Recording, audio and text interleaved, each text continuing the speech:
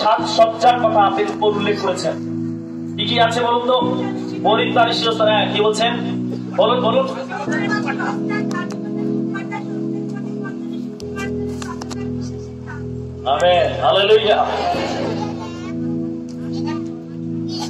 আমাদের যুদ্ধের সাজসজ্জা কি কি পরিত্রাণের শিরস্থান সকলে পরিত্রাণের শিরস্থান মাথায় হাতে পরিত্রাণের শিরস্থান ধার্মিকতার বুক পাটা।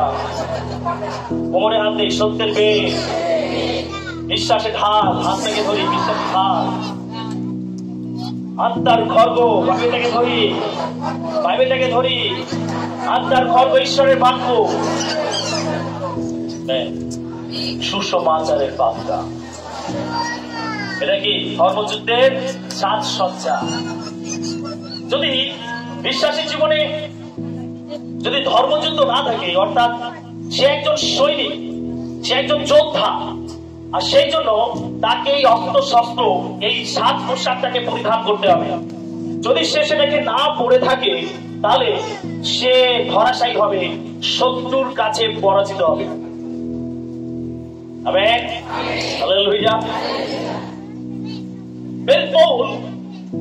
বলছে, তুমি উত্তম যোদ্ধার ন্যায় যুদ্ধ করো।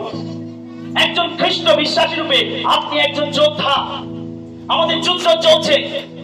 আমরা যুদ্ধতে রত আছি, আর এই যুদ্ধ বাইবেল বলছে, রক্ত মাংসের সঙ্গে নয়। আমাদের যুদ্ধ আত্মিক জগতের সঙ্গে আমি দুষ্টতার আত্মাগণের সঙ্গে অন্ধকারের শক্তির সঙ্গে, এই জগতের কর্তাধিপতির সঙ্গে আমাদের মল্ল যুদ্ধ হচ্ছে। আমরা প্রত্যেকে এই একটা যুদ্ধেতে রত হয়েছে। এই যুদ্ধে আপনি প্রস্তুত না থাকেন, তাহলে আপনি যুদ্ধে বিজয় লাভ করতে পারবেন না। আমরা সকলেই চাই যুদ্ধে বিজয় লাভ করতে। আমি আমরা প্রত্যেকে চাই জয়ী হতে। প্রত্যেকটা চ্যালেঞ্জের উপরে জয়ী হতে। প্রত্যেকটা শয়তানের আক্রমণের উপরে জয়ী হতে।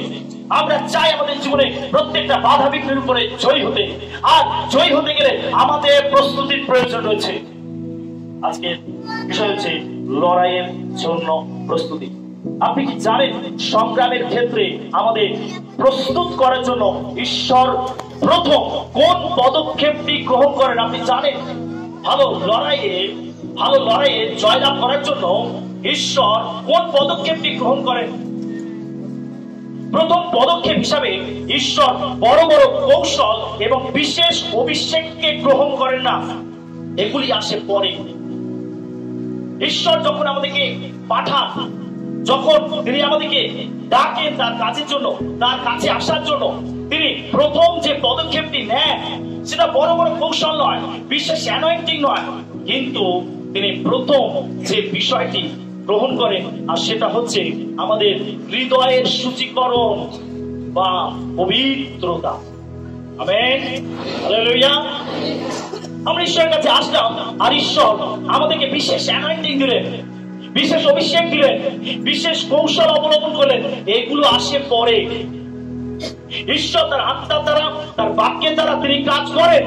তিনি আমাদেরকে বুদ্ধি যোগান, তিনি আমাদেরকে জ্ঞান দেন, যেন আমরা প্রত্যেকটা সমস্যার উপরে আমরা বিজয় লাভ করতে পারি। এগুলো আসে পরে, কিন্তু প্রথমে তিনি যে পদক্ষেপটি নেন সেটি হচ্ছে আমাদের হৃদয়ের সূচীকরণ বা পবিত্রতা।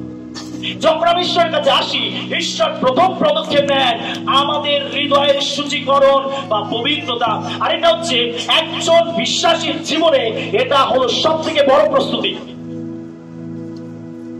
যদি আপনি এই প্রস্তুতি না নেন, তাহলে আপনি কখনো শয়তানের উপরে বিজয় লাভ করতে পারবেন না, পাপের উপরে বিজয় লাভ করতে পারবে না, আপনার শত্রুর উপরে বিজয় লাভ করতে পারবে না। ঈশ্বর প্রথম যে প্রস্তুতিটা নেন, সেটা হচ্ছে আমাদের হৃদয়ের শুচিতা আমাদের পবিত্রতা। ঈশ্বরের কাছে আমরা যখন আসি, তখন ঈশ্বর প্রথমে আমাদের হৃদয়কে তিনি সূচি করেন, আমাদেরকে পবিত্র করেন। প্রভু ভালোভাবেই জানেন যে আমাদের হৃদয় পবিত্র বা সম্পূর্ণ, তার না হলে আমরা শয়তানের উপরে বা অন্ধকারের শক্তির উপরে জয় লাভ করতে পারব না, এটা প্রভু ভালো করে জানেন যদি আপনি আপনার জীবনে প্রত্যেকটি আক্রমণের উপরে বিজয় লাভ করতে চান, তাহলে প্রথমে দরকার আমাদের হৃদয়ের সূচীকরণ। যদি আমরা ভেতর থেকে পবিত্র না হই, আমরা ভেতর থেকে সুচি না হই, আমরা সম্পূর্ণ ঈশ্বরে না হই, আমরা কখনো আমাদের জীবনে জয়লাভ করতে পারব না। আজ বহু বিশ্বাসী মন্ডলীর মধ্যে আসে, প্রার্থনার মধ্যে আসে, কিন্তু তারা সম্পূর্ণ প্রভুর হয়নি এখনও। তারা এখনও পর্যন্ত তারা তাদের জীবনকে সূচি করেনি, পবিত্র করতে পারেনি, বা তারা ঈশ্বরের কাছে নিজেকে সমর্পণ করতে পারেনি। এখনও পর্যন্ত হয়তো বিশ্বাসীর জীবনে কিছু পাপ থেকে যায়, কিছু অন্ধকার থেকে যায়, কিছু মন্দতা থেকে যায়, আর সেই জন্য তারা তাদের সমস্যা থেকে উদ্ধার পেতে পারে। তারা তাদের পরীক্ষার উপরে বিজয় লাভ করতে পারে না। তারা শয়তানের উপরে বিজয় লাভ করতে পারে না। সেই জন্য ঈশ্বরের কাছে আসলে ঈশ্বর প্রথম যে কাজটি করেন, তিনি আমাদের হৃদয়কে সূচি করেন, আমাদেরকে পবিত্র করেন। হালেলুয়া। যখন আমরা ভেতর থেকে পরিবর্তন হই, পবিত্র হই, আর তখনই আমরা আমাদের জীবনে প্রত্যেকটা পরীক্ষার উপরে বিজয় লাভ করতে পারি। ঈশ্বর সবসময় তার পক্ষ হয়ে দাঁড়ান, যে তার জীবনকে প্রভুর কাছে সমর্পণ করেছে, যে তার পাপের জন্য অনুতাপ করেছে, যে প্রভুর প্রভুর ক্ষমাকে লাভ করেছে, যে পরিত্রাণকে গ্রহণ করেছে, যে যিশু রক্ত দিয়ে নিজের হৃদয়কে ধ্বংস করেছে, সেই প্রভুর হতে পারে এবং প্রভু তার জীবনকে পরিবর্তন করে এবং তার মধ্যে থেকে কাজ করে। হালেলুয়া। চলুন আমরা বাইরে- থেকে কিছু ঘটনা দেখি। আমরা প্রথমে দেখি জাকবকে, পুরাতন নিয়মের জাকব। কে কে জাকব? না, পুরাতন নিয়মের কথা বলছি। বাইবেলে দুটো পার্ট রয়েছে, একটা পুরাতন নিয়ম, একটা নতুন নিয়ম। কে হ্যাঁ? হ্যাঁ কি? হ্যাঁ কার ছেলে, জাকব? সকলে বলি, কার ছেলে? ইসাহাকের ছেলে, কার ছেলে? আপনি যখন বাইবেল বা ঈশ্বরের বাক্য যখন শুনবেন আপনি কিছু সঞ্চয় করতে পারেন। যখন ঈশ্বরের বাক্যের কাছে আসবেন যেন কিছু সঞ্চয় করতে পারেন, কিছু নিয়ে যেতে পারেন। জাকব হলো ইসাহাকের পুত্র।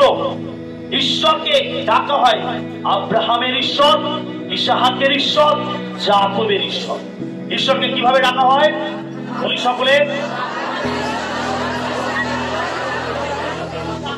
আব্রাহামের পুত্র ইসাহাক, ইসাহাকের পুত্র জাকব জাকবকে ইসাহাকের পুত্র। অনেকে আছেন, পুরাতন নিয়ম করতে চান না। পুরাতন নিয়ম ভয় পান অনেকে রয়েছে পুরাতন নিয়ম অনেকে আছেন, বুঝতে পারেন না। একবার করলে বুঝতে পারবে না, কিন্তু যখন বারবার করবেন বারবার করবেন বারবার করবেন, তখন দেখবেন পবিত্র আত্মা আপনার কাছে অনেক কিছু নিগুর বিষয় আপনার কাছে প্রকাশ করছে। সেই জন্য বারবার করতে হবে। আপনি বুঝতে না পারলেও করুন। এটা একটা পরিশ্রম। যখন আপনি পরিশ্রম করবেন উপদেশকে লেখা রয়েছে যে অধ্যয়নের আধিক্যে শরীরে ক্লান্তি হয়।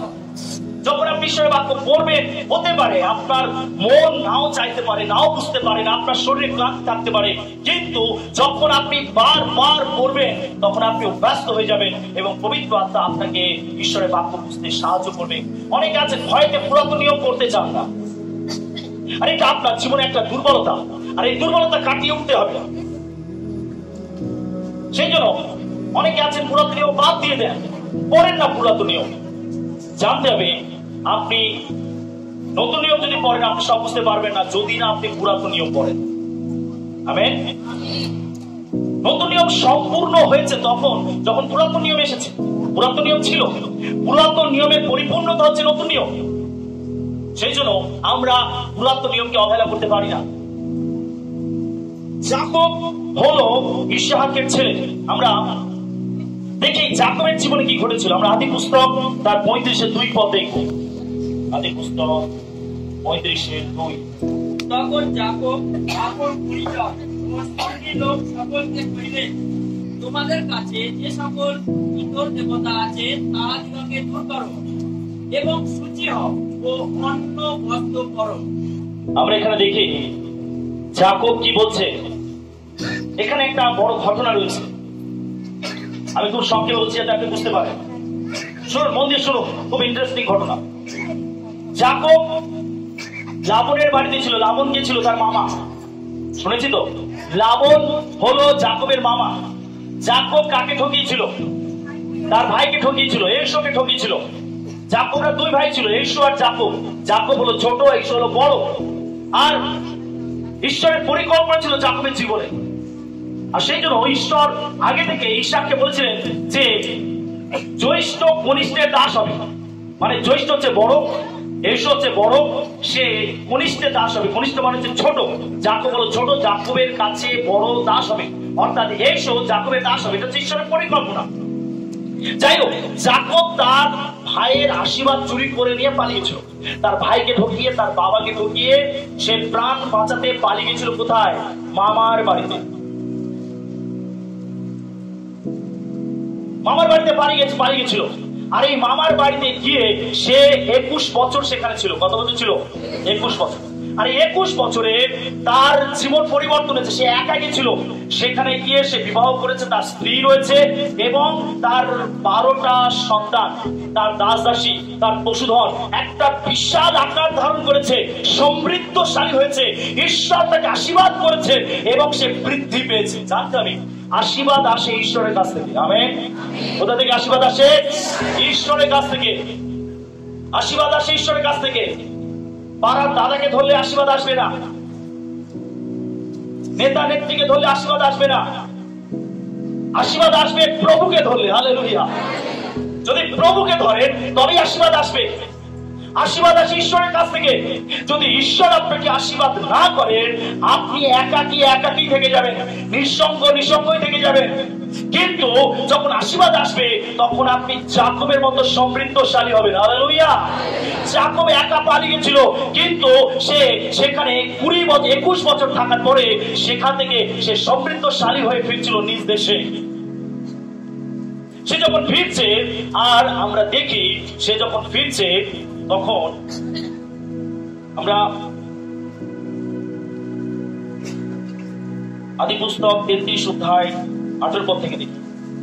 আদি পুস্তক তার 33 অধ্যায় 18 থেকে পরে। আসিয়া কুশলে সিকিমের নগরে উপস্থিত হইয়া নগরের বাইরে স্থাপন করিলেন। পরে সিকিমের পিতা যে হমর তাহার সন্তানদিগকে রৌপের একশত পশিতা, অর্থাৎ মুদ্রা দিয়া তিনি আপন তাম্বু স্থাপনের ভূমিখণ্ড ক্রয় করিলেন এবং তথায় এক যজ্ঞবেদী নির্মাণ করিয়া তাহার নাম এলো- এলোহি ইসরায়েল, অর্থাৎ ঈশ্বর, ইসরায়েলের ঈশ্বর রাখিলেন। আমরা দেখি জাকব সে মামার বাড়ি থেকে ফিরে আসছে, এখন কোথায় যাচ্ছে? নিজের স্বদেশে। যেখান থেকে সে একাকি বেরিয়ে এসেছে, তার সেই বাবার জায়গাতে দেশে দেশে ফিরে আসছে এখন। সে তার স্ত্রী, তার সন্তান, তার পশুধন, তার দাস দাসী সবকিছু নিয়ে সে এখন ফিরে আসছে, রওনা দিয়েছে তার নিজের দেশের উদ্দেশ্যে। আর আস্তে আস্তে আমরা দেখি যে সে কনান দেশের সিকিমের কাছে এসে উপস্থিত হয়েছে। আর সেই নগরের বাইরে সে এক খণ্ড ভূমি সে কিনেছে এইখানকার এইখানকার যিনি যিনি প্রধান ছিলেন, তার নাম হচ্ছে হমর। আর এই হমর এবং তার সন্তানদের কাছ থেকে জাকব কি করেছে? সে মুদ্রা দিয়ে এক খণ্ড ভূমি কিনেছে আর সেইখানে সে তাঁবু খাটিয়ে তার সমস্ত পরিবার নিয়ে, তার দাস দাসী নিয়ে, তার পশুধন নিয়ে সেখানে সে বসতি আরম্ভ করেছে। এখানে একটা খুব খারাপ ঘটনা ঘটে। জাকবের এক মেয়ে, তার নাম হচ্ছে, তার নাম হচ্ছে দিনা আমরা যদি চব্বিশ পদে, চব্বিশ অধ্যায় এক পদ পড়ি সেখানে লেখা রয়েছে, আর লেয়ার কন্যা দিনা যাকে তিনি জাকবের জন্য প্রসব করিয়াছিলেন, সেই দেশের কন্যাদের সঙ্গে দেখা করিতে বাহিরে গেল। আর হমর নামক দেশাধিপতির পুত্র শিখি তাহাকে দেখিতে পাইল এবং তাহাকে হরণ করিয়া তাহার সহিত শয়ন করিল, তাহাকে ভ্রষ্ট করিল। আর জাকবের কন্যা দিনার প্রতি তাহার প্রাণ অনুরক্ত হতে সে সেই যুবতীকে প্রেম করিল ও তাকে বিশ্ব কথা বলিল। এখানে দেখি যে হমরের পুত্র, আর সে কি করল? জাকবের কন্যা দিনা তাকে মানভ্রষ্ট করল। তাকে মানভ্রষ্ট করল। তাকে তাকে তাকে শারীরিক ভাবে তাকে মানহানি করল। আর এই ঘটনাতে জাকবের যে ছেলেমেয়েরা রয়েছে, সবার মধ্যে ঈর্ষা তৈরি হলো, ক্রোধ তৈরি হলো।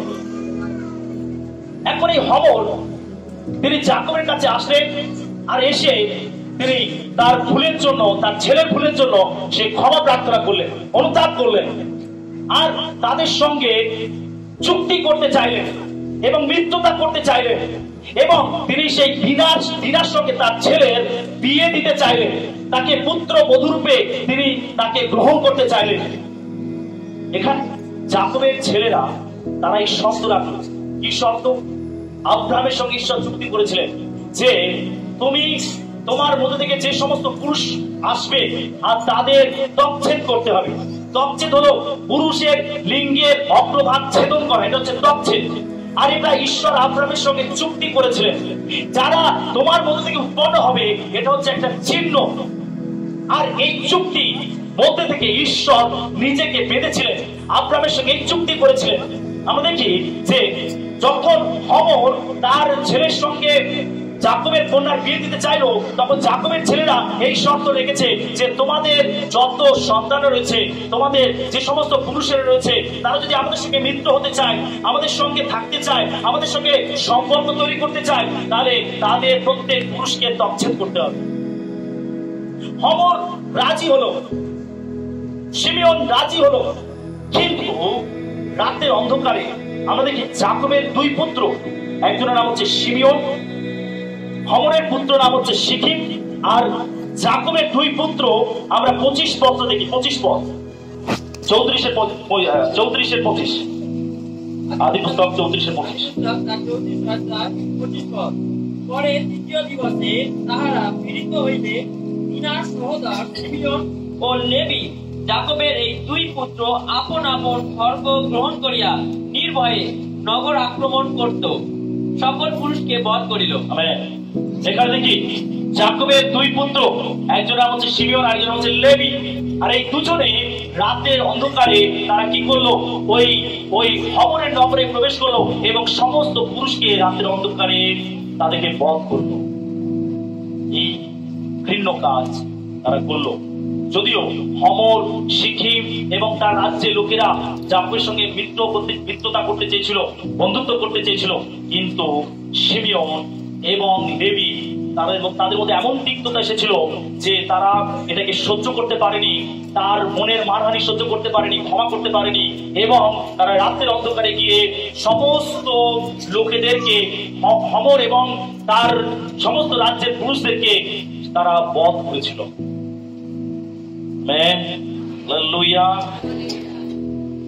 এই ঘটনা ঘটেছে এই ঘটনা ঘটেছে। এখন জাকব চিন্তা করছে, আমি কি করব? আমি কি করব? যাব জাকব সমস্যায় পড়ে গেছে। আমি কি করব এখন? এটা একটা ভয়ঙ্কর ঘটনা। আমি কি করব? দেখুন, ঈশ্বর, তিনি পঁয়ত্রিশ অধ্যায় কি বলছেন? ঈশ্বর জাকবকে কহিলেন? তুমি উঠো গিয়া স্থানে বাস করো এবং তোমার ঈশ্বর সম্মুখ হইতে তোমার কালে যে ঈশ্বর তোমাকে দর্শন দিয়েছিলেন তাহার উদ্দেশ্যে সেই স্থানে যোগ্য নির্মাণ করো। তখন জাকব আপন পরিজন ও সঙ্গী লোক সকলকে কহিলেন, তোমাদের কাছে যে সকল ইতর দেবতা আছে তাহাদিওকে দূর করো এবং সূচি হও ও অন্য বস্ত্র আমেন। যখন এরকম পরিস্থিতি, এই ঘটনা আশেপাশে রাজ্যে ছড়ে গেল যে জাকবের পুত্ররা এত ভয়ঙ্কর যে তারা এরকম রাতের অন্ধকারে তারা অন্য রাজ্যের পুরুষদেরকে বধ করেছে। এই ঘটনা চারিদিকে ছড়ে গেল এবং এবং জাকব চিন্তায় পড়ে গেল যে আমি এখন কোথায় গিয়ে বসতি আরম্ভ করব? প্রথমত এই নগরের লোকেরা আমাকে এখানে বস করতে দেবে বাস করতে দেবে না এবং আমি যদি অন্য নগরে গিয়ে বসবাস করে, সেইখানকার লোকেরা আমাকে বাস করতে দেবে না। জাকব তার সন্তান, তার স্ত্রী, তার দাস দাসী তার ওষুধ সবকিছু নিয়ে দুশ্চিন্তায় পড়ে গেছে। কি করবে এখন? শুনছেন সকলে?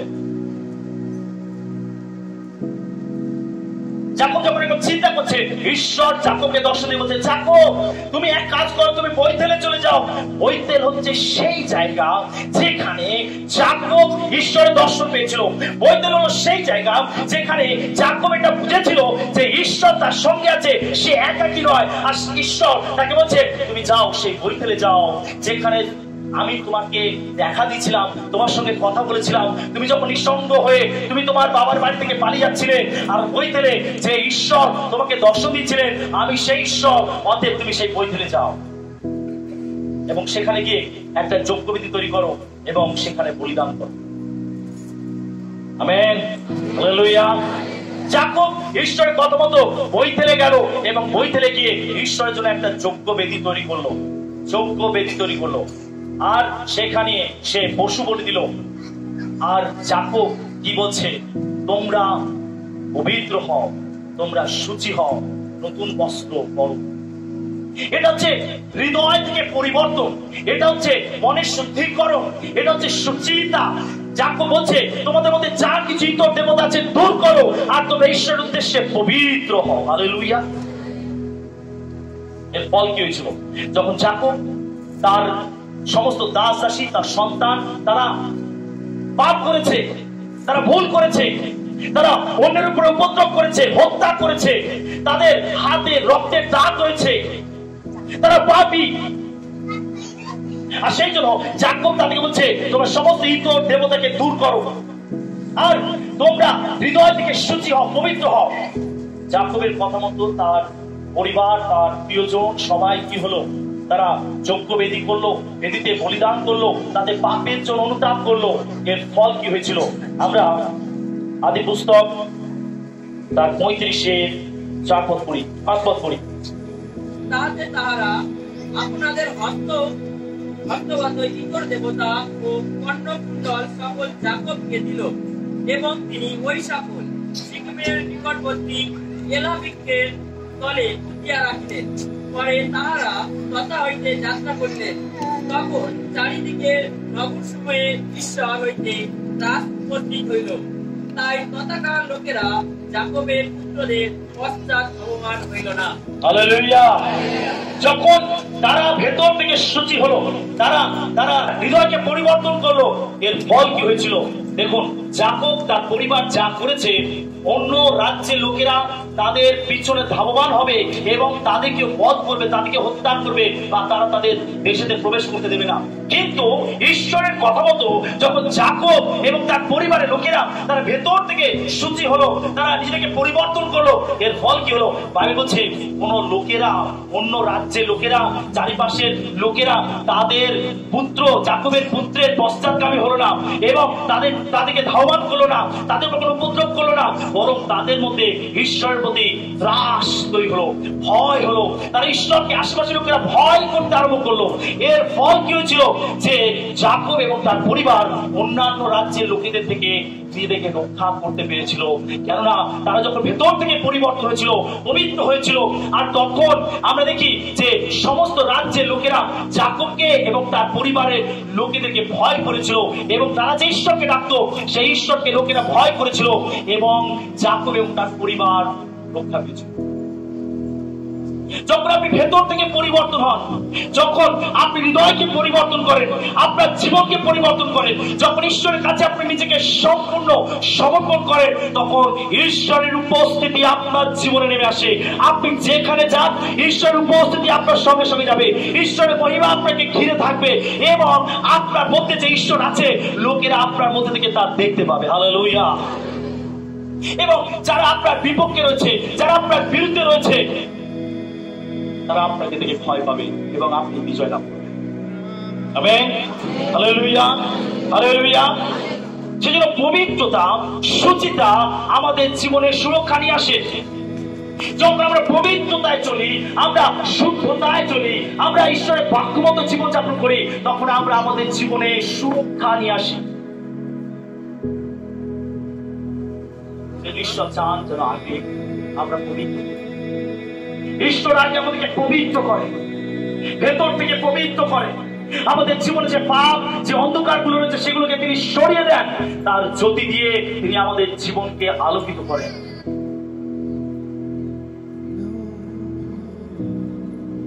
শুনছেন সকলে? আমেন। আমরা দেখি, সিনয় পর্বতে কি হয়েছিল? ঈশ্বর মসিকে বলছে, যাও, তুমি সমস্ত ইসরায়েল জাতিকে বলো, যেন তারা পবিত্র হয়। কেননা আমি তাদের সঙ্গে সাক্ষাৎ করব, তাদের সঙ্গে দেখা করব বা আমি তাদের সঙ্গে কথা বলব। কে বলছেন ঈশ্বর। শুনছেন সকলে? আমি হালেলুইয়া হালেলুইয়া হালেলুইয়া হালেলুইয়া ঈশ্বর তিনি ইসরায়েল জাতিকে মিশর থেকে বের করে এনেছে। এখন তারা কোথায় এসেছে সিনয় পর্বতের কাছে। আর ঈশ্বর বলছেন আমি সিনয় পর্বতের উপর নেমে আসব, সবার সাক্ষাতে। আর সেই জন্য সমস্ত ইসরায়েল জাতিকে বলো, তারা যেন পবিত্র হয়। ঈশ্বরের কথা মতো মসি ইসরায়েল জাতিকে বললেন, আর সবাই পবিত্র হয়ে পর্বতের কাছে আসলো। আর ঈশ্বর পর্বতের উপর নেমে আসলেন। মসি পর্বতের উপরে গেল এবং ঈশ্বর মসির সঙ্গে সাক্ষাৎ করলেন। এবং সমস্ত জাতি নিজের চোখে দেখল ঈশ্বরের মহিমাকে। তারা নিজের কানে শুনলো ঈশ্বরের রবকে যে ঈশ্বর মসির সঙ্গে সম্মুখা সম্মুখী হয়ে কথা বলছেন। এই দৃশ্য দেখে সমস্ত ইসরায়েল জাতি, তারা তারা ঈশ্বরের প্রতি ভয়, ঈশ্বরের প্রতি শ্রদ্ধা, ঈশ্বরের প্রতি বিশ্বাস তৈরি হয়েছিল এবং মসি, যে ঈশ্বরের একজন মনোনীত দাস, ইসরায়েল জাতি তারা নিজের চোখে দেখেছিল যে মসি ঈশ্বরের সঙ্গে সরাসরি কথা বলছে Hallelujah. আর সেই জন্য ইসরায়েল কি করেছিল। আগে নিজেদেরকে পবিত্র করেছিল।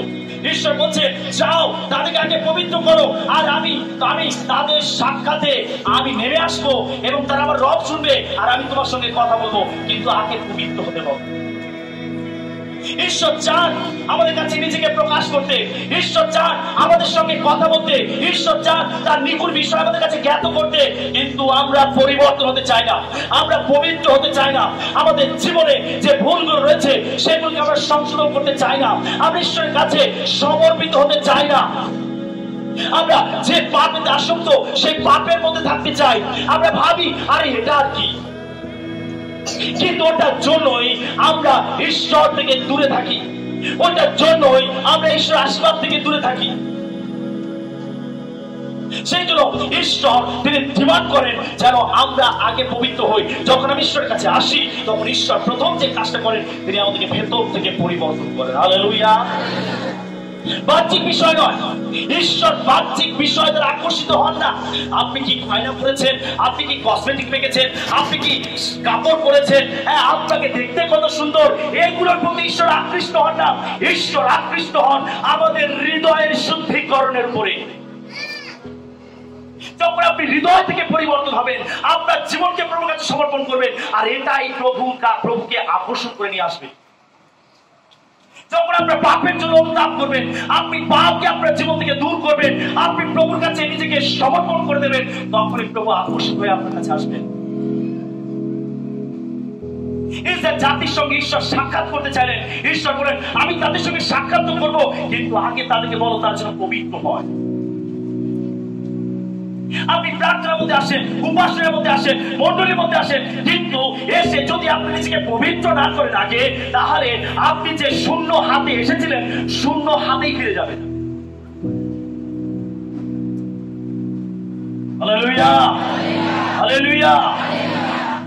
যখন ঈশ্বরের কাছে আসি, আমাদের আগে প্রয়োজন হচ্ছে যেন ঈশ্বরের ঈশ্বরের কাছে আমরা আমাদের হৃদয়কে দিই, যেন তিনি আমাদের হৃদয়কে সূচি করতে পারেন।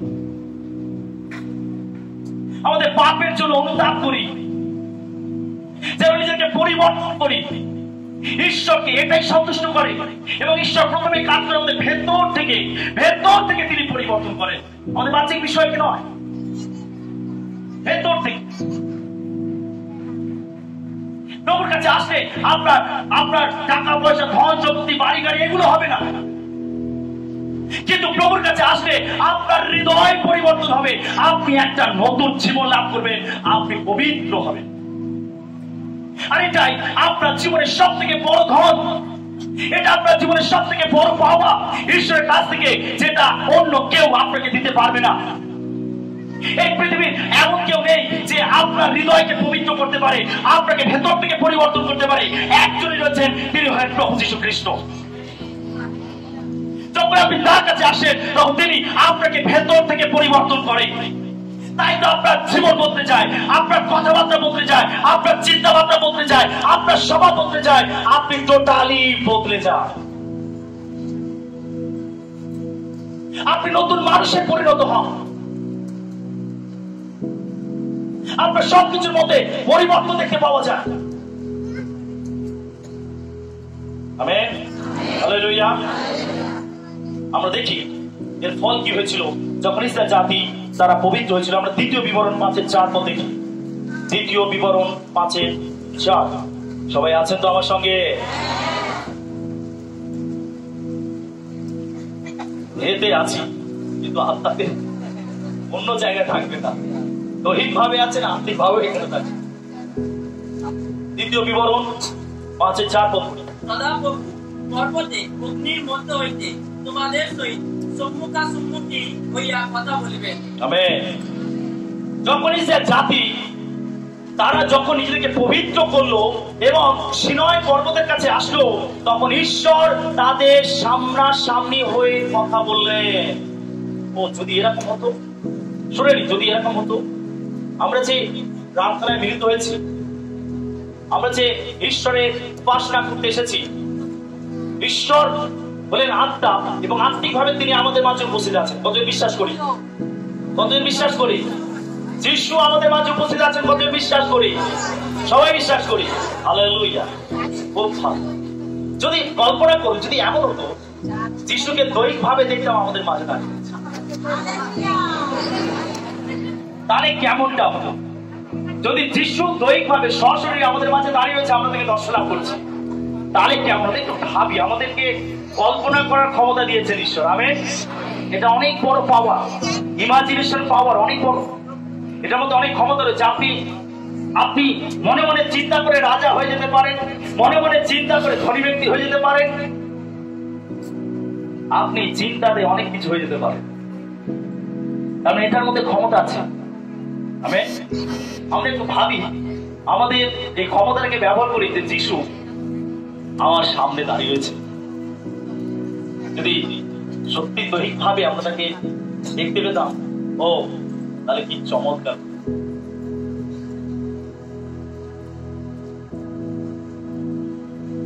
যদি দৈহিক ভাবে আমরা দেখতে পেতাম, তিনি আমাদের সামনে রয়েছেন, তাহলে আমরা কি অন্য মানুষ পারতাম আমরা কেউ ঘোরাফেরা করতাম না।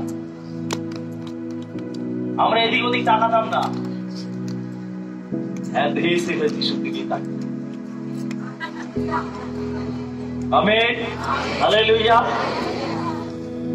দেখ কত ভেঙে কিছু নেই, আমরা দেখব। একদিন তাকে আমরা দেখব যখন স্বর্গেতে যাব। আমেন। হালেলুয়া। সম্মুখ আর সম্মুখী হয়ে তাকে দেখব। আমাদের চোখ তার প্রতি আকৃষ্ট হয়ে থাকে, স্থির হয়ে থাকে। আমরা দেখি।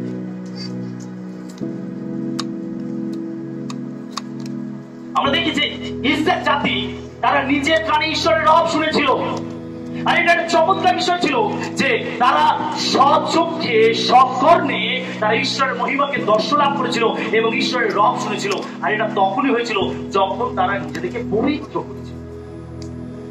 আপনি ততক্ষণ পর্যন্ত ঈশ্বরের রব শুনতে পাবেন না। আপনি ততক্ষণ পর্যন্ত ঈশ্বরের বাক্যের গভীরে যেতে পারবেন না। যতক্ষণ না আপনি নিজেকে পবিত্র করবেন আপনি ভাবছেন, আমি পাপেও থাকব আর চার্চেও থাকব। আমি পাপের মধ্যে থাকব আর প্রার্থনার মধ্যে থাকব। আমি পাপের মধ্যে থাকব আর ঈশ্বরকেও ডাকবো। আর এই দুই দুই কর্তা দাসত্ব কেউ একসঙ্গে করতে পারে না।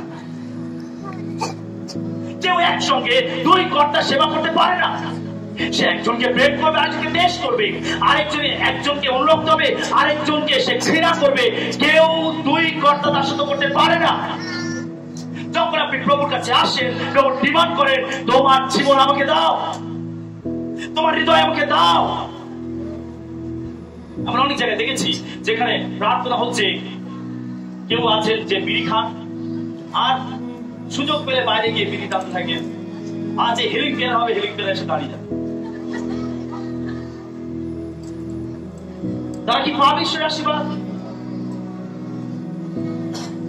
প্রার্থনা হচ্ছে, উপাসনা হচ্ছে বসে বসে মোবাইল ঘাটছেন, গেম খেলছেন ফেসবুক দেখছেন। যেই হিলিং টাইম আসবে, তখন প্রার্থনা লাইনে দাঁড়িয়ে গেলেন। আপনি কি পাবেন আশীর্বাদ শুনছেন সকলে?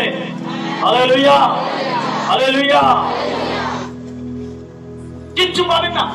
আপনি খালি হাতে খালি হাতেই ফিরে যাবেন। যখন আপনি নিজেকে পবিত্র করবেন, তখন প্রভু আপনার সঙ্গে কথা বলবেন। আপনি প্রার্থনা করে প্রভু আপনার সঙ্গে কথা বলবেন। আপনি ঈশ্বরের বাক্য শুনে প্রভু আপনার সঙ্গে কথা বলবেন। আপনি আরাধনা করেন প্রভু আপনাকে স্পর্শ করবে। প্রভু আপনার জীবনকে টোটালি বদলে দেবে। আপনি শূন্য হাতে এসেছিলেন আর আপনি পূর্ণ হয়ে ফিরবেন। কাঁদতে কাঁদতে এসেছিলেন আর হাসতে হাসতে বাড়িতে ফিরবেন। তিক্ততা নিয়ে এসেছিলেন আর আনন্দ সহকারে বাড়িতে ফিরবেন।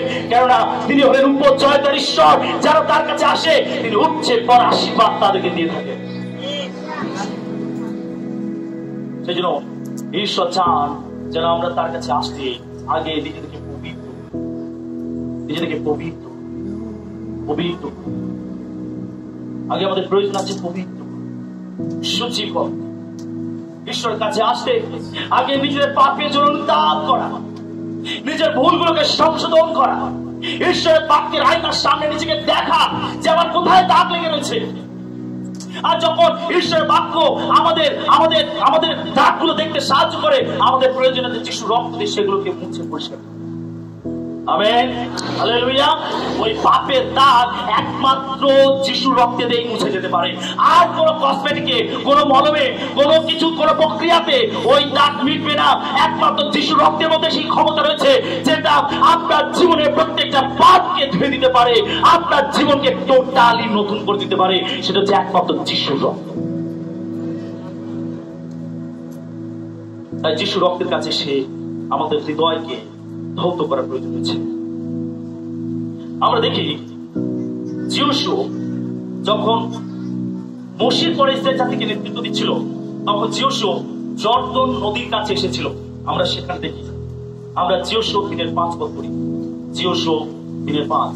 পরে লোকদিগকে কইলে তোমরা আপনাদিগকে পবিত্র করো কেননা পল্ল সদা প্রভু তোমাদের মধ্যে আশ্চর্য ক্রিয়া করিবে আমরা দেখি যখন জিওসু ইসরায়েল জাতিকে নেতৃত্ব দিচ্ছিল মসির পরে, মসি, মসিকে ঈশ্বর বেঁচেছিলেন ইসরায়েল জাতিকে উদ্ধার করার জন্য।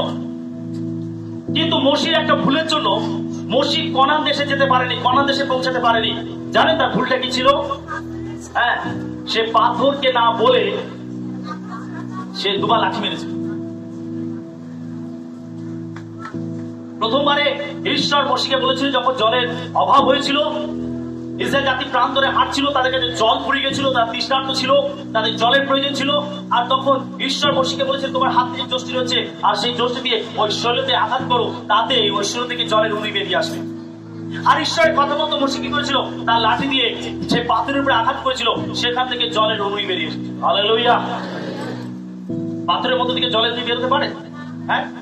আপনি বাড়িতে গিয়ে চেষ্টা করবেন। তো পাথর নেবে না। ভালো করে স্টিল করা দিয়ে ভালো করে চাপবেন গুঁড়ো করবেন দেখবেন সেখান থেকে জল বেরোবে কিনা। বেরোবে? না। কিন্তু আমরা এমন ঈশ্বরকে ডাকি, যিনি শৈলের মধ্যে থেকে জলের অনুই বের করতে পারেন। তিনি শৈলের মধ্যে থেকে পাথরের মধ্যে থেকে জলের উনি বের করতে পারেন তিনি পারেন অলৌকিক কাজ। তিনি পারেন অসম্ভবকে সম্ভব করতে।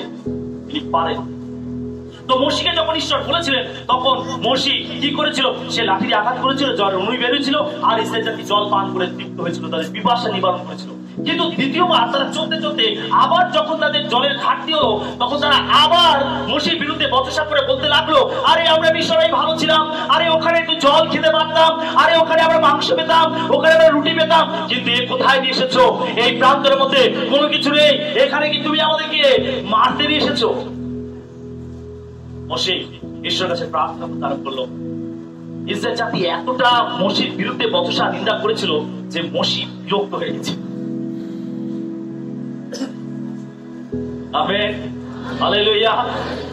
মসি বিরক্ত হয়ে গেছিল। আর এখানে মসি রেগে গেছিল। মসি রেগে গেছিল। আর ঈশ্বর মসিকে বলে, যাও, ওই শৈলকে গিয়ে বলো, আর তোমাদেরকে জল দেবে।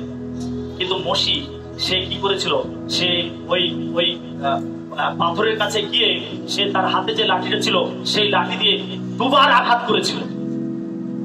ঈশ্বর তাকে কি বলেছিলেন? শৈলকে গিয়ে বলতে, এই শৈল, তুমি জল দাও। এটা বলতে বলেছিল ঈশ্বর। প্রথমবার লাঠি দিয়ে মেরেছিল।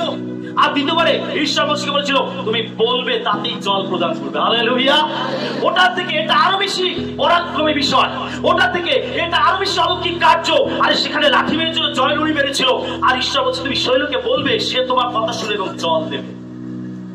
কিন্তু মসি কি করেছিল? রেগে গিয়ে ক্রুদ্ধ হয়ে সে লাঠিতে দুবার আঘাত করেছিল পাথরের উপরে। আর অবশ্য সেখান থেকে জলের উনি বেড়েছিল কিন্তু ঈশ্বর তার ক্রোধকে দেখেছিলেন। সেই জন্য ঈশ্বর মসিকে পানিশমেন্ট দিয়েছিলেন যে তুমি দূর থেকে ওই কনান দেশ দেখবে, কিন্তু সেখানে তুমি যেতে পারবে না। আমেন। হালেলুয়া। ক্রোধ এবং তিক্ততা আপনার জীবনকে ধ্বংস করে দিতে পারে। আপনার জীবনে ব্লকেজ নিয়ে আসতে পারে। আপনার জীবনে আশীর্বাদকে ধ্বংস করতে পারে। ক্রোধ এবং তিক্ততা আপনার অনেক দৃঢ় সম্পর্ক ভেঙে যেতে পারে। আপনার আপনার প্রিয়জন আপনাকে ছেড়ে চলে যেতে পারে। ক্রোধ এবং তিক্ততার ফলে। আপনি অসুস্থ হয়ে পড়তে পারেন মানসিক ভাবে শারীরিক ভাবে এবং আত্মিক ভাবে আপনি অসুস্থ হয়ে পড়তে পারেন, যদি আপনার মধ্যে ক্রোধ এবং তিক্ততা থাকে। মসির এই ক্রোধের জন্য সে আশীর্বাদকে হারিয়েছিল, সে কনান দেশে পৌঁছাতে পারেনি তার ক্রোধের জন্য।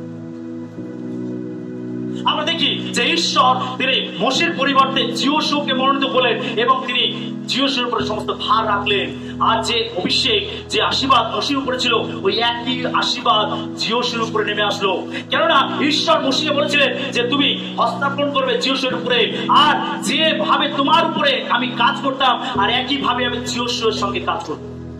আমেন। অনেকে আসেন, আমি এই বিষয়, যখন বিষয়টা আসলো, আমি বলতে চাই, অনেকে আছেন যারা হস্তার্পণ প্রার্থনা নিতে চান। যদি একবার বলি যে কারা কারা হস্তার্পণ প্রার্থনা নিতে চান সকলেই লাইনে দাঁড়িয়ে যাবেন। কেউ বাদ থাকবেন। যে বিড়ি খায়, যে গাঁজা খায়, যে মদ খায়, তারাও লাইনে দাঁড়াবে। প্রত্যেকে আমরা চাই ঈশ্বর আশীর্বাদ পেতে। কিন্তু হস্তার্পণ প্রার্থনার বিশেষ গুরুত্ব রয়েছে। আমরা লাইনে দাঁড়িয়ে বক বক করতে থাকি কথা বলতে থাকি। আমরা গল্প করতে থাকি হই হুল্লোড় করতে থাকি। শুনছেন সকলে? আরে প্রার্থনা যখন হিলিং প্রেয়ার হচ্ছে আরে আমি আগে দাঁড়াবো। ঠেলা ঠেলি ধাক্কা ধাক্কি করে কে আগে দাঁড়াতে পারে? কিন্তু আপনি বোঝেন না, হস্তাক্ষর প্রার্থনা গুরুত্ব কতটা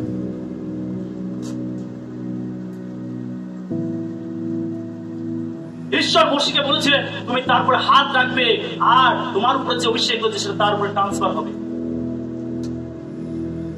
যখন হস্তাক্ষর প্রার্থনা হয়, জানতে হবে একজন আত্মিক বিষয় দিচ্ছে, আর যে দিচ্ছে, সে কিছু করছে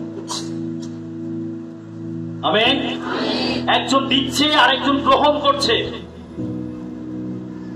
মানুষের ক্ষমতা নেই কিছু দেবার। ঈশ্বর মানুষের মাধ্যমেই দেয় ঈশ্বর তার সরাসরি আসবেন না। ঈশ্বর মানুষের মাধ্যমেই কাজ করেন। সেই জন্য তিনি মর্সিকে মনোনীত করেছিলেন। সেই তিনি জিওসকে মনোনীত করেছিলেন। সেই তিনি এলিওকে মনোনীত করেছিলেন। তিনি রিসাকে মনোনীত করেছিলেন। তিনি দাউদকে মনোনীত করেছিলেন। তিনি পিতর জাকব জনকে মনোনীত করেছিলেন। তাদের মাধ্যমে তিনি নিজেকে প্রকাশ করেছেন। তাদের মাধ্যমে তিনি অন্যের কাছে আশীর্বাদ বয়ে বয়ে নিয়ে গেছেন।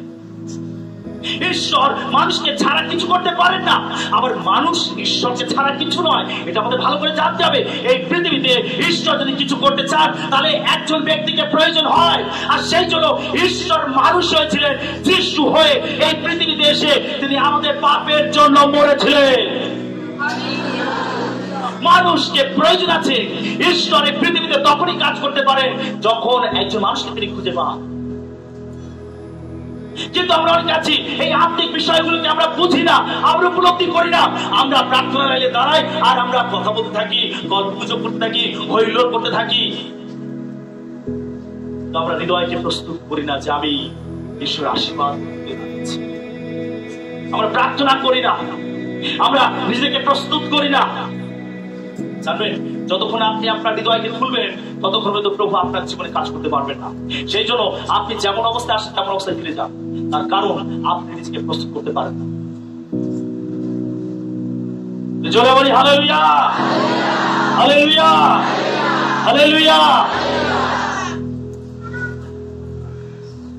আপনার প্রস্তুতির প্রয়োজন আছে।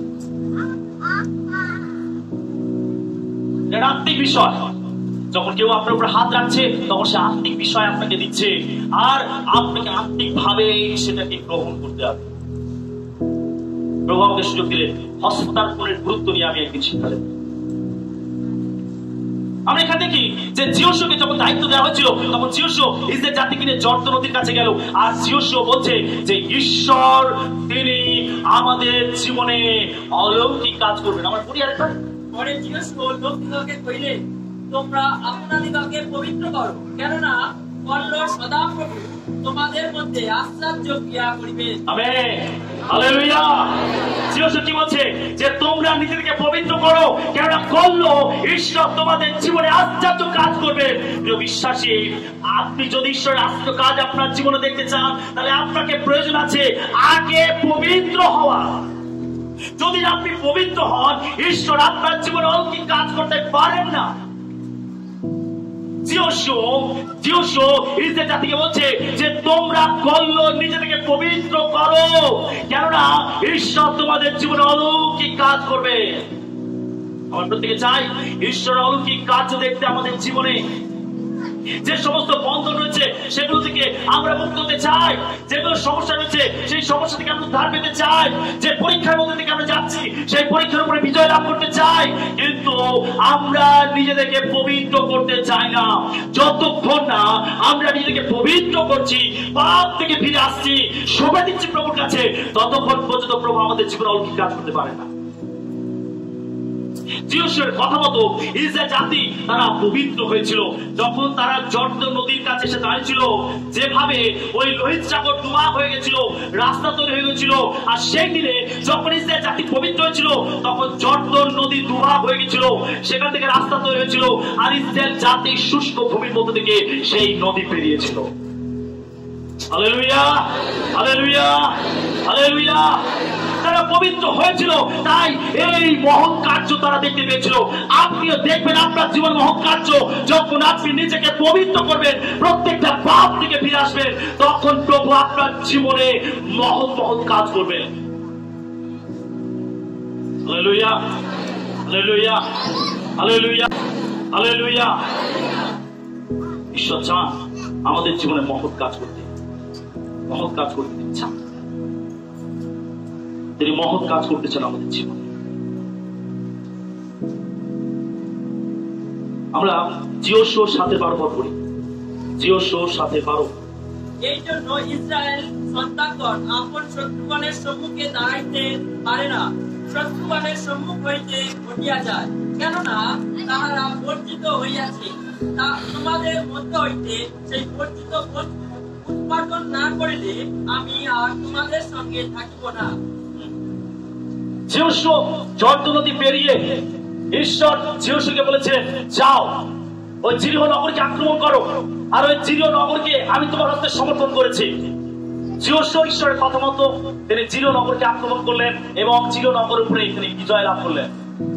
ঈশ্বর বলেছিলেন যে, তুমি জিরো নগরকে একেবারে ধ্বংস করবে। শুনছেন সকলে?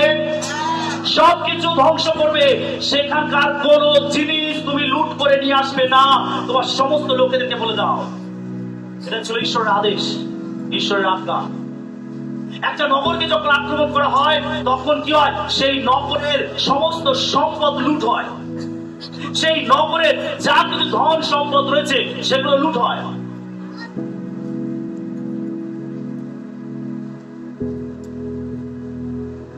অনেক জায়গায় দেখবে যখন ট্রেন অ্যাক্সিডেন্ট হয়, খুব মারাত্মক অ্যাক্সিডেন্ট হয়, তখন অনেকে আসেন যারা আঘাতপ্রাপ্ত, তাদেরকে উদ্ধার করতে, তাদেরকে সাহায্য করতে। আবার অনেকে থাকে, তাদের ব্যাগ, তাদের টাকা পয়সা কি আছে, সেইগুলোকে হালেলুয়া। তারা নিজেদের প্রাণ বাঁচাতে ব্যস্ত, তাদের সেবার প্রয়োজন তাদের সাহায্যের প্রয়োজন। প্রাণের থেকে মূল্যবান সম্পদটা কিছু হতে পারে না। আর, এরকম পরিস্থিতিতে অনেকে আসে, তারা তাদের টাকা, পয়সা, ব্যাগ, যা জিনিসপত্র আছে সেগুলোকে লুট করে নিয়ে যায়।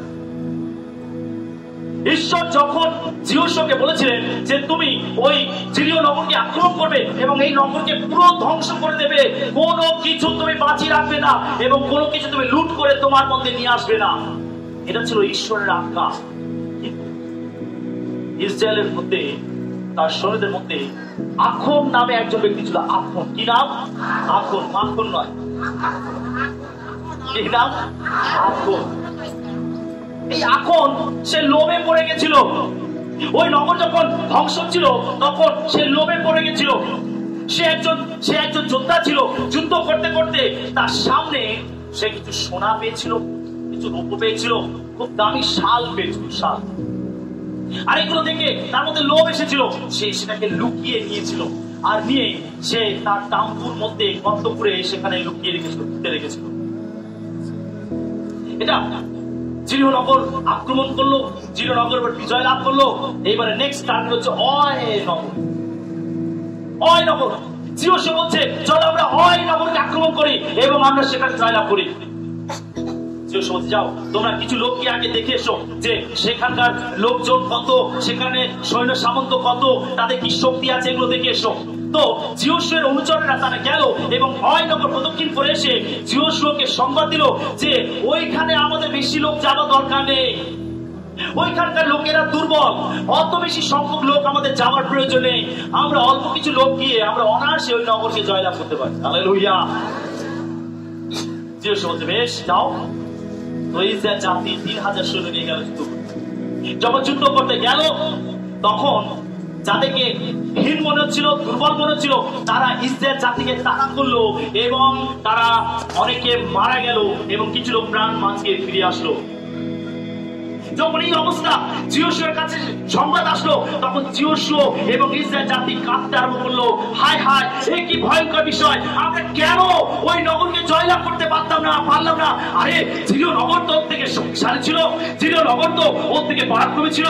যখন আমরা ওই নগরকে ধ্বংস করে দিলাম, ওই নগরের উপরে জয়লাভ করলাম, তাহলে আমরা এই ছোট্ট নগর, ওই নগরকে কেন জয়লাভ করতে পারলাম না? তাহলে অনুতাপ করতে আরম্ভ করল, ক্রন্দন করতে আরম্ভ করল, ঈশ্বরকে ডাকতে আরম্ভ করল। আমরা কেন পারলাম না? ঈশ্বর বলছেন তোমাদের পাপ আছে। তোমাদের মধ্যে পাপ আছে। আমি তোমাদেরকে যেটা বলেছিলাম, তোমরা তা শোনোনি। আমি তোমাদেরকে বলেছিলাম সিরিয় নগরকে ধ্বংস করতে তার কোনো কিছু তোমরা সঙ্গে করে বহন করে নিয়ে আসবে না, তোমাদের মধ্যে রাখবে না। কিন্তু তোমরা তা করেছ। এই কথা শুনে সমস্ত ইসরায়েলীয় জিওসো তারা চিন্তায় পড়ে গেল, আমরা কি করব? কে সেই ব্যক্তি? এই ঘৃণ্য কাজ করেছে কে সেই ব্যক্তি? ঈশ্বর তাদেরকে বলেছিলেন, তোমরা প্রত্যেকটা গোষ্ঠী এক এক করে আমার সামনে সামনে চিহ্নিত করে দেবে। আর এইভাবে আফগনকে সামনে নিয়ে আসা হলো। আর আফগন ধরা। আমেন। হালেলুয়া। হালেলুয়া। আফগন ধরা পড়ল। এখন তো যদি বলো, কি পাপ করেছ? কি অন্যায় করেছ? বলো তুমি সবকিছু। খুলে বলো। তখন এখন বলছে আমি ওই জিরিহ নগর যখন ধ্বংস ছিল, আমি সেখান থেকে অনেক সোনা নিয়ে এসেছি, অনেক রূপ নিয়ে এসেছি, কিছু শাল নিয়ে এসেছি, আর আমার তাম্বুর গর্ত করে তাম্বুর মধ্যে আমি লুকিয়ে রেখেছি। তুমি এই কুকর্ম কেন করেছ? তার শাস্তি হয়েছিল। তাকে ইসরায়েল জাতি নাশ করেছিল, তাকে বধ করেছিল, মেরে ফেলেছিল। ঈশ্বরের বিচার সরাসরি তখন নেমে আসতো। সেই জন্য লোকেরা ভুল করলে, অন্যায় করলে তাদের শাস্তি পেত। কিন্তু বর্তমানে আমরা অনুগ্রহের যুগে বাস করছি। আর সেই জন্য আমরা পাপ থেকে ভয় পাই না। আমরা ঈশ্বরকে থেকে ভয় পাই না। ঈশ্বরের বিচার থেকে আমরা ভয় পাই না। তার কারণে আমরা অনুগ্রহের যুগে বাস করছি। সেই জন্য আমি আপনি রক্ষা পাচ্ছি। কিন্তু এই অনুগ্রহকে যদি আপনি খেলায় ভাসান, আপনার বিচার নিশ্চিত। বাইবেল বলে যে যে মাংসের জন্য বপন করে, সে মাংস থেকে ক্ষয় রূপ শস্য পাবে। আর যে আত্মার উদ্দেশ্যে বপন করে, সে আত্মা হয়তো অক্ষয় রূপ শস্য কাটবে। আপনি যা বুনবেন আপনি তাই একদিন কাটবেন। যদি আজকে আপনি আত্মার উদ্দেশ্যে ভালো কিছু বপন করছেন, আপনি একদিন আত্মার উদ্দেশ্যে ভালো কিছু কাটবেন আর যদি আপনি মাংসের উদ্দেশ্যে বপন করছেন, আপনি শেষ দিনে মাংসের উদ্দেশ্যে আপনি ক্ষয় শস্য কাটবেন। আপনাকে বেছে নিতে হবে, আপনাকে মনোনীত করতে হবে। আপনি কি বপন করবেন? ভালো কিছু না মন্দ কিছু? এখন ধরা পড়ল। তখন তারা সেই পাপকে তারা দূর করল, তারা পবিত্র হলো, দেখুন, তারপরে হয় নগরকে তারা জয় লাভ করতে আমেন। শয়তান আপনার জীবনে তখনই কাজ করবে যখন আপনার জীবনে পাপ থাকবে। যখন আপনি পাপের মধ্যে পড়ে থাকবেন, শয়তানের লিগাল রাইট থাকবে, আপনার জীবনে কাজ করা। ওই নগরের কাছে জিয়স্য এবং তার সৈন্য সামন্ত জয়লাভ করতে পারেনি। তার কারণ তাদের মধ্যে পাপ ছিল। আপনার জীবনে যখন পাপ থাকবে, তখন আপনি সামান্যতম পরীক্ষায়, সংকটে, সমস্যায় আপনি হার মানবেন পরাস্ত হয়ে যাবেন। কিন্তু যখন আপনি পবিত্রতায় চলবেন, ধার্মিকতায় চলবেন, অনেক বড় বড় পরীক্ষাতেও আপনি জয় লাভ করতে পারবেন। হালেলুয়া! আপনার আপনার পথ তৈরি হবে, আপনার আপনার অবস্থা তৈরি হবে যখন আপনি সঠিক নির্ণয়টা নেবেন। আর সেটার উপরে ডিপেন্ড করছে আপনি কতদূর হাঁটবেন, কতদূর যাবেন, কতটা বিজয় লাভ করবেন। আপনার সঠিক জীবনযাপনের উপরেই নির্ভর করে। যখন আপনি পাপগুলোকে পরিত্যাগ করবেন, আপনি মত বিষয়গুলোকে পরিত্যাগ করবেন, আর তখনই আপনি বড় বড় পরীক্ষার উপরে বিজয় লাভ করবেন, আর ঈশ্বরের মহিমা করবেন ঈশ্বরের গৌরব করবেন। আমরা প্রত্যেকে চাই আমাদের জীবনে কঠিনতম পরীক্ষার উপরে বিজয় লাভ করতে, কিন্তু আমরা চাই না নিজেকে পবিত্র করতে। আমরা চাই না পাপ থেকে ফিরে আসতে, আমরা চাই না জীবনকে পরিবর্তন করতে। কিন্তু আমরা স্বপ্ন দেখি, আমি এটা করব, আমি তো করব, আমি সেটা করব। কিন্তু আলটিমেট কিছু হয় না। রেজাল্ট হয় জিরো বিশ্বাস? যখন প্রভুর কাছে আমরা আসি, আমাদের ভালো প্রস্তুতি নেওয়ার প্রয়োজন রয়েছে। যেন আমরা ভালো পারফর্ম করতে পারি, আমরা বিজয় লাভ করতে পারি, আমরা ঈশ্বর আশীর্বাদ লাভ করতে পারি। অয়নগরের কাছে জিওস তার দল বল হেরে গেছিল। তার কারণ তাদের মধ্যে পাপ ছিল।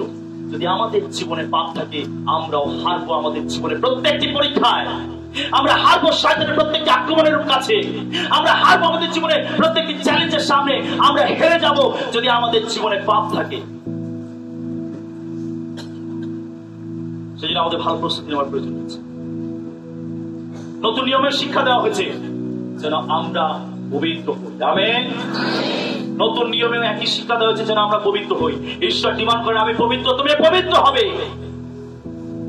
আমাদের জীবনে আশীর্বাদ তখনই আসে যখন আমরা পবিত্র হই। আপনার জীবনে প্রত্যেকটি পাপকে ছেড়ে ফেলতে হবে। এটা শুধু পুরাতন নিয়মের শিক্ষা নয়, নতুন নিয়মে একই শিক্ষা দেওয়া হয়েছে, যেন আমরা পবিত্র হই। আমি জাস্ট একটা দুটো পথ করতে চাই তারপরে আমরা শেষ যাব।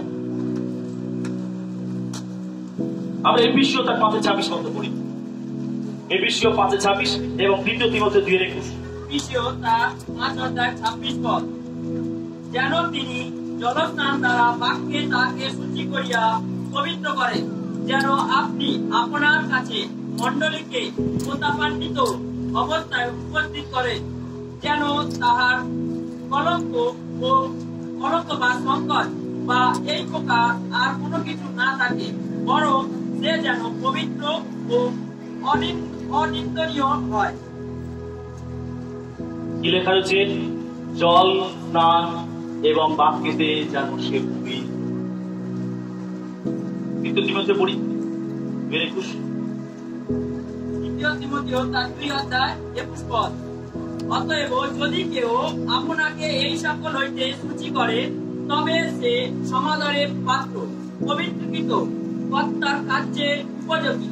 সমস্ত সৎক্রিয়া নিমিত্ত প্রস্তুত হইবে। আমেন। যদি সে নিজেকে পবিত্র করে, তাহলে সে কর্তার কাছে উপযোগী হবে। জল, স্নান এবং বাক্যেতে যেন আমরা পবিত্র হই বাক্যেতে যেন পবিত্র হই। যখন ঈশ্বরের বাক্যের কাছে আমাদের হৃদয়কে নিয়ে আসি, তখন আমরা পবিত্র হই।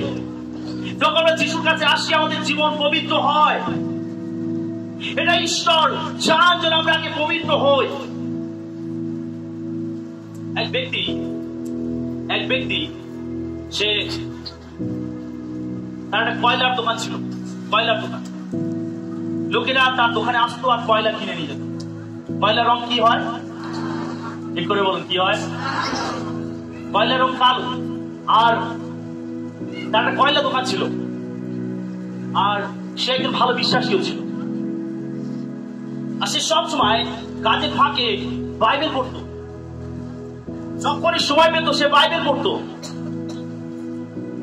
যথেষ্ট সময় নিয়ে সে বাইবেল পড়তো। তার ছেলে একদিন বলছে, বাবা, তোমার বাইবেলটা কি মুখস্থ হয়ে গেছে? বলছে, না রে খোকা, আমার এখনও বাইবেলটা মুখস্থ হয়নি। আমি এত পড়ি, কিন্তু অনেক কিছু মনে রাখতে পারে। অনেকে বলেন আমাকে যে বাইবেল পড়ি কিন্তু মনে রাখতে পারে শুনুন, তাদের কাছে এটা খুবই উৎসাহের বিষয়। যারা বাইবেল পড়ি মনে রাখতে পারি না এটা তাদের কাছে উৎসাহের বিষয়। তো সেই বাবা বলছে যে, আমি এত বাইবেল পড়ি, কিন্তু আমি মনে রাখতে পারি না। তখন ছেলে বলছে তাহলে এত বাইবেল কেন পড়ো? তোমার এত বাইবেল পড়া দরকার। যখনই তোমাকে দেখি কাজের ভাগে বাইবেল মধ্যে মুখ গুজে বসে আছে। তখন তার বাবা কি করল? তার ছেলেটাকে যে চুপড়িতে করে কয়লা তুলতো, সেই চুপড়িটা কয়লা লেগে লেগে একেবারে কালো হয়ে গেছে। তার ছেলেকে চুপড়িটা দিয়ে বলল যে, পুকুর থেকে এক চুপড়ি জল নিয়ে এসো। ছেলে বলছে, এটা সম্ভব নাকি? সব জল তো পড়ে যাবে। বলছে, তুমি চুপড়ি থেকে জল তুলে নিয়ে এসো। তো বাবার কথা মতো ছেলে চুপড়িটা নিয়ে গেল, পুকুরে ডোবালো আর সে একটু ওপরে তুলতেই সব জল পড়ে গেল। বাবাকে এসে বলছে, বাবা, দেখে একটু জল নেই। বলছে, তুমি আবার যাও। আবার গেল। আবার জল তুলে যেই একবারে গেছে সব জল ঝরে পড়ে গেছে। এইভাবে বেশ কয়েকবার বেশ কয়েকবার অবশেষে ক্লান্ত হয়ে বাবা বলছে, না, বাবা, এটা সম্ভব নয়। আর এই কাজ আমাকে করতে বলো না। বলছে, তুমি চুপড়িতে করে জল তুলতে পারোনি, এটা ঠিক। কিন্তু তুমি চুপড়ির ভেতরটাকে দেখেছ। তখন ছেলেটা চুপড়ির ভেতরে তাকিয়ে দিচ্ছে যা নোংরা লেগেছিল, কালি লেগেছিল, সেটা বারবার জলেতে ধোয়ার জন্য, তোলার জন্য চুপড়িটা পরিষ্কার। হালে লইয়া হালে লইয়া বাবা বলছে যে, আমি এত পড়ছি, মনে রাখার চেষ্টা করছি, বারবার পড়ছি। হ্যাঁ আমি মনে রাখতে পারছি না, কিন্তু ঈশ্বরের বাক্য আমি যত পড়ছি আমার ভেতরটা পবিত্র হয়ে হালেলুয়া যখন আপনি ঈশ্বরের বাক্য পড়বেন, ঈশ্বরের বাক্যের কাছে আসবেন, হয়তো আপনি মনে রাখতে পারছেন না, হয়তো আপনি ভুলে যাচ্ছেন, কিন্তু আপনি যখন বারবার এটা করবেন, আপনার হৃদয়ে যে আবর্জনা রয়েছে, যে কালি রয়েছে, যে পাপ রয়েছে, ওটা ধুয়ে যাবে বাক্যের আপনার জীবন বদলে যাবে, আপনার হৃদয় বদলে যাবে। আপনি সুচি হবেন, আপনি পবিত্র হবেন, ঈশ্বরের প্রীতির পাত্র হবেন, ঈশ্বর আপনাকে ব্যবহার করবেন, ঈশ্বর আপনাকে তুলে ধরবেন ঈশ্বর আপনাকে আশীর্বাদ দেবেন ঈশ্বর আপনার জীবনকে পরিবর্তন করবেন ঈশ্বর আপনার মাধ্যমে অন্যের জীবনে পৌঁছে যাবেন ঈশ্বর এটা হালেলুয়া। সেই জন্য পবিত্র আমাদের হতে হবে ঈশ্বরের বাক্যের দ্বারা, আমাদের জীবনকে হবে। ঈশ্বরের কাছে আসলে ঈশ্বর প্রথমে কি করে আমাদের জীবন তাই তো অনেকে সাপ দেন আমি নেশা করতাম, আর প্রভুর যিশুর কাছে এসে আমি সেই নেশাকে ছেড়েছি। কেউ সাক্ষ্য দেন আমি ব্যবিচারে আসক্ত ছিলাম, আর প্রভু আমার জীবনকে পরিবর্তন করেছেন। কেউ বলেন, আমি দাগি আসামি ছিলাম, আমি জেলেতে ছিলাম, আমি যখন যিশুর কাছে এসেছি, তখন আমার জীবন বদলে গেছে। আমি এখন নতুন মানুষ হয়েছি, আমি এখন প্রভু সেবা করছি। এরকম ভুরি ভুরি সাক্ষ্য আমরা শুনতে পাই। তারপর যিশুর কাছে আসলে যিশু প্রথমে আমাদের হৃদয়কে সূচি করেন, আমাদের ভেতর থেকে পরিবর্তন করেন। আর এটাই হচ্ছে আমাদের জীবনের হাতিয়ার এটা হচ্ছে আমাদের জীবনের শক্তি, যেটার মাধ্যমে ঈশ্বর আপনাকে এবং আপনার পরিবারকে এবং অন্যের জীবনকে তিনি স্পর্শ করতে পারেন, আশীর্বাদ করতে পারেন, তিনি আপনাকে ব্যবহার করতে পারেন। হালেলুয়া! সেই জন্য আসুন আমরা ঈশ্বরের কাছে আসি। আগে নিজেদেরকে পবিত্র করি।